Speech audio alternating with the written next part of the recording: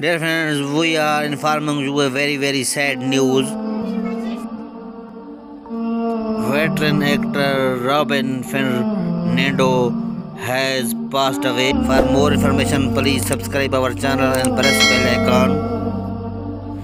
Robin Fernando was at the age of 84 years. He has acted in several dozens of movies, including Hathara Kendare,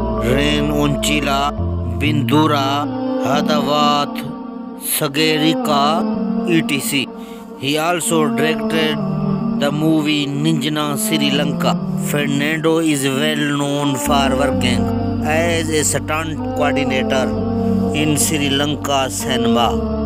Fernando was a man of good character. He has done a great work for humanity. God bless their family and friends. May his soul rest in peace. Guys, please subscribe our channel and press bell icon. Thanks for watching this video.